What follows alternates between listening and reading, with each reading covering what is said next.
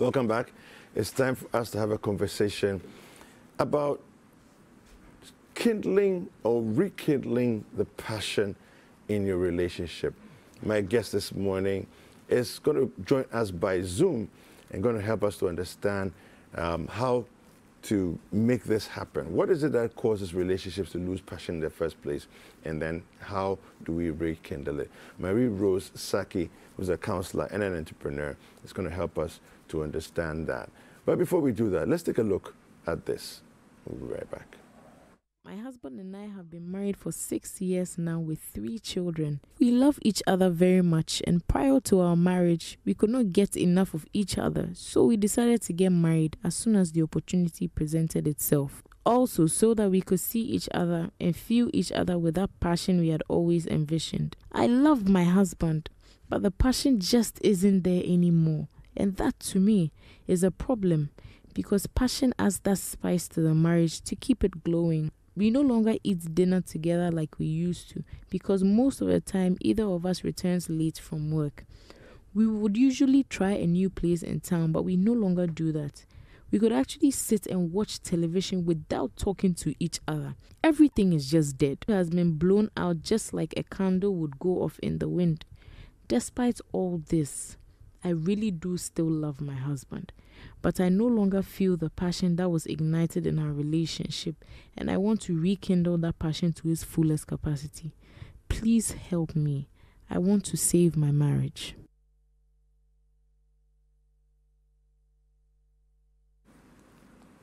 All right, so you've seen that there. Let me introduce my guest to you. Good morning, Mrs. Saki. How are you? I'm really good, thank you. So, um, help us to understand what is it that causes, um, you know, so much passion in a relationship to even begin to fade? Thank you very much. As I, as I listened to the lady, I, I only smiled because um, it's not out of um, her situation is not out of the world or mm. it's not um, ahead of. It's quite normal, especially looking at her, um, how long she's been in marriage. Um, and it, it, usually happens when you are so much in love and the passion is aflame and uh, you know you are really excited about everything you enter the marriage before you realize the children are coming yeah you don't take your time to plan it well and as soon as the children come the tempo changes, whether mm. you like it or not. No matter how prepared you are, the tempo changes because the children are so young, they need a lot of time. Yeah. And with that kind of background, you hear a lot of um, young couple married between the um, for about one to six, seven years. You hear a lot of those complaints. That doesn't mean that those who've been in uh, marriages for a long time also don't experience this passion you know fading out but it is very normal that's one thing i want to assure her it is very normal it happens in every relationship and like she rightly said that it's like a candle that has been blown off mm. but she should remember that when you blow a candle off it can always be ignited again you can always light your candle back mm. it is a question of your desire is a question of your um, preparedness to, to light your candle back. Mm. So, so I, I believe that she's experiencing these things because of um, the situation. Because I see she has three children already. In six years, she has three children. Yeah. She's working, her husband is working. So there will be a lot of tension. Mm. So if she wants to reignite or rekindle the passion in the marriage, then she has to start doing certain things. I don't know the age uh, gaps between the children, but I'm sure that the elders of the children won't, won't be more than six years or five years. Yeah. You know, so they are pretty young. So yeah. she has to decide. Definitely, she loves her husband because nobody has offended anybody. Mm. Her husband has not done anything to her. It's just because you had some kind of addition to your previous situation which was only you and your husband, which was easy to manage. Yeah. But now you had three more visitors in mm-hmm. that you have to take care of, and, and they can really drain you. they can drain you so much that you wouldn't have excitement for anything. So the first thing I'll talk about is that she has to sit down with her husband and take make plans as to how they're going to get the fire back okay. in their relationship. Yes. One thing with the children, because there are children in, one suggestion I'll make, or the first suggestion I'll make, is that periodically they have to have a time away.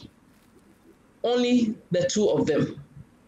Either they move out of their house or they get somebody to come and take the children away, or they take the children to somebody.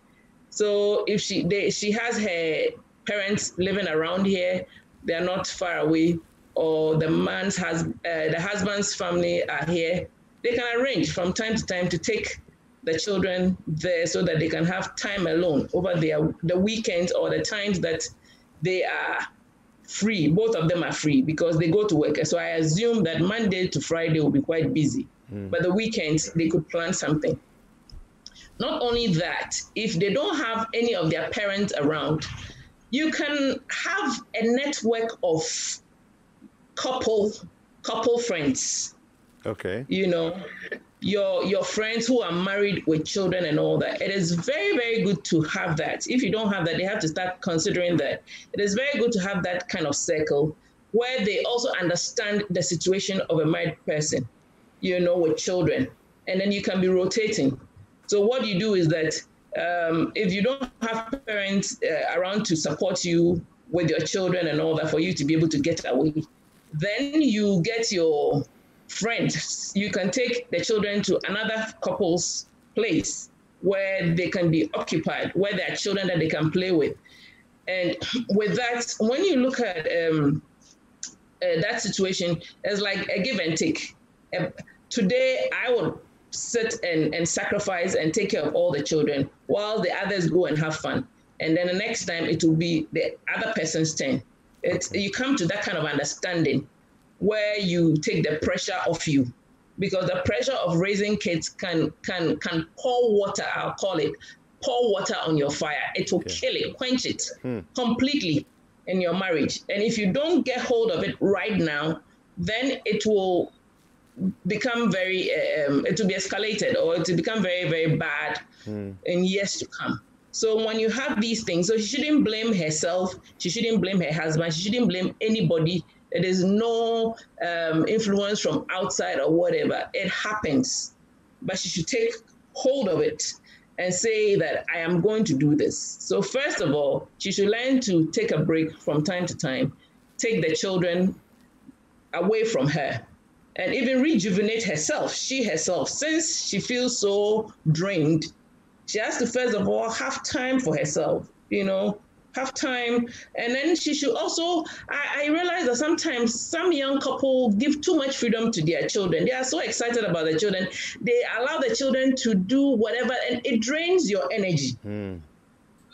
To be able to plan the children's life, give them a, a kind of a routine the time they wake up, time they eat, time they play, that time they, they learn, time they sleep.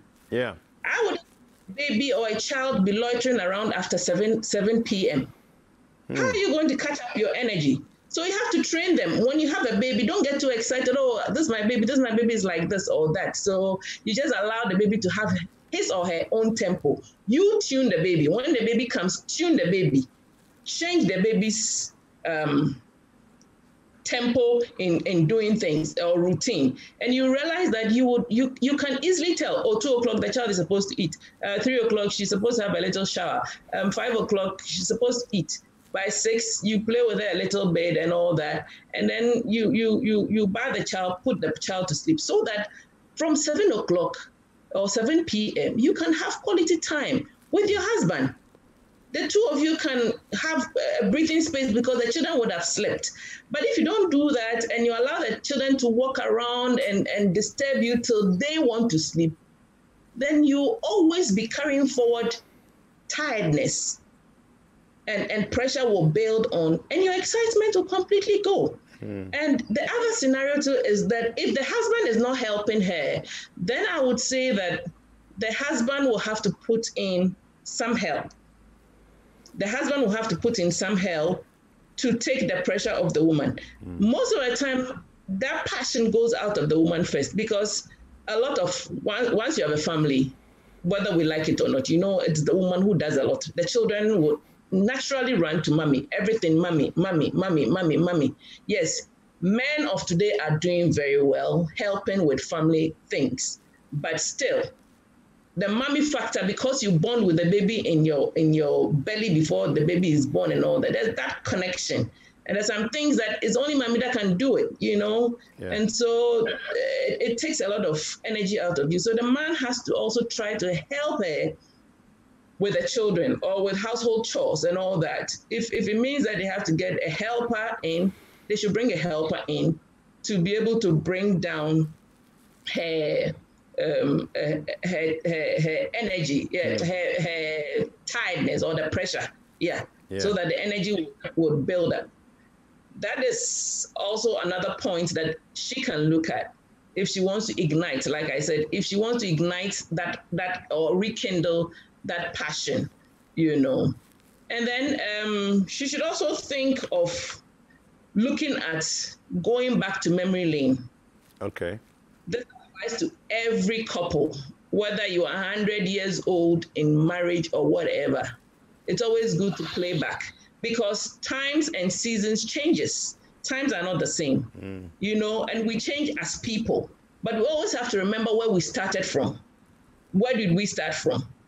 Going down the memory lane, it helps a lot to bring up or spice up the relationship, spice up the marriage. You can some of the tactics you can use in going down memory lane is is looking at pictures, your wedding pictures, your old pictures. Mm. You know when you took before you married, you got married. When you when you were you know trying to get each other's attention, when you became when you consented to each other, and when you married. Those exciting photographs. You can take one evening as you sit down watching TV be looking at pictures and remembering things. You can also go to familiar places where you used to go. It will rekindle that that that that, that passion. Mm. Places if you go for movies or if you used to go to beaches or you had time to um, go for programs together and all that. Recreate those situations so that you can be able to relive. And as you are reliving what has happened in the past, mm. it will build up the passion, especially because um, the like like she rightly said, the passion is not out because of offense. Nobody has offended. Any, none, none, none of them has offended each other. Mm. You know, it's not because uh, maybe the husband had gone to uh, to chase women or anything like that it's basically the energy is gone down or the passion is gone down mm. because she's overburdened with three children. Three children in six years. It is yeah. it is a lot of work. So she can go down memory lane and and do some of these things. Look at pictures. Watch watch your wedding wedding your wedding video. Mm. Watch your wedding video. See how how things were, how excited you were, how you were looking forward to, you know, and and visit friends. You have to have friends. When you are all by yourself, you you you you you can get gagged, you know, with all the pressures of being in a house with children and the same routine going going and coming go to work and come home take care of children uh, prepare them to sleep eat sleep wake up it becomes monotonous and it's it, it can be very tiring mm. so the best situation is to have other, like I said, having other couple friends really help a lot. That you can call at any time, you can pass by, visit, they can come to you and visit, share experiences. Then you know that you are not alone. When you when you share experiences with others and you realize that you are not alone, it, it kind of brings your your your um, stress down. It mm. brings your anxiety down, which doesn't lead to depression and all other things. Yeah. So this is what I think that um, Mami or whatever. Mam- Mamle. Um, Mamle. Oh, okay. Mamle. Mamle should be looking at these are things she should be. She should look for trustworthy two or three couple friends yeah. that they can be exchanging. Sometimes you you know when when when you have couple friends like that and you are together and talking and the men are talking, the women are talking, you realize that oh oh it happens here too about the children and all that. It mm. it, it takes your um, energy down. It, it, I, I, don't know why I keep saying it takes your energy. It takes your pressure down. Mm. You know, mm. because you need the energy, not you, you need the energy to rekindle. Yeah. And should also decide. Our mind plays a lot on us. Our minds. You know, she yeah. shouldn't just sit there and say that, oh, the excitement or the passion is all gone. So um, it's like a, a, candle has been blown away and yeah. all that. Yeah. The candle is blown away, but the candle is not done. Okay. The candle is still sitting there. All right. We can always light it and blow it off and light it and blow it off and it is an understanding she has to have that mm. once you are in a relationship, you you you not always be going uphill. There are times yeah. you plateau. There are times you come down. There are times you go up. She has to understand the tempo, right. but she has to be in charge of herself. Take charge of her her thinking. When she realizes things are not going the way she wants, she should take action. She should take charge. Thank she you. should talk husband. Yeah. Thank you, thank you, thank you, thank you so much. Um, I think you've given us some pretty amazing pointers. Uh, Mamle is watching, and I believe that um, she will be able to pick some of those things. Um, I hope she's written everything down, but she'll be able to pick up some of those things and apply them to her life and immediately um, begin to see some changes. Uh, thank you very much to you, uh, Mrs. Marie Rose Saki. Mrs. Marie Rose Saki is a counselor and an entrepreneur, and she's been helping us to understand how it is that we can rekindle passion in a relationship. Some of the pressures that come, uh, for example, children and so on, but we can rekindle. And it doesn't have to be. Just the fact that the wind has blown out the candle doesn't mean the candle is finished. It's not. We can relight it.